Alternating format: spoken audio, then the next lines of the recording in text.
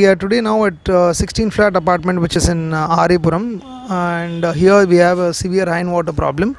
And um, they are actually managing metro water and bore water capacity plant what we have installed is uh, about 10,000 liters per day. And this is the bore motor here plant area. From the borewell the water is coming and collected in this both tanks. And this is called the aeration tank. And each tank capacity is around 1500 liters and uh, and here because why we have given two tanks is because we'll get more surface area for the air to get aerated.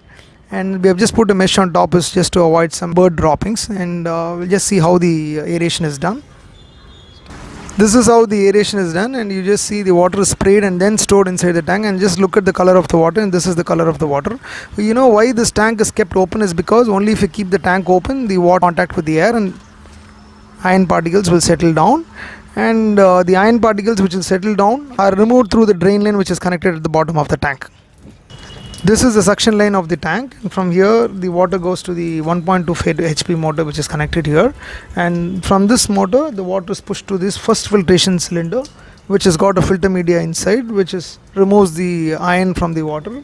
And this is this is a automatic fully automatic uh, process where the backwash rinse everything happens fully automatic and manual intervention is there.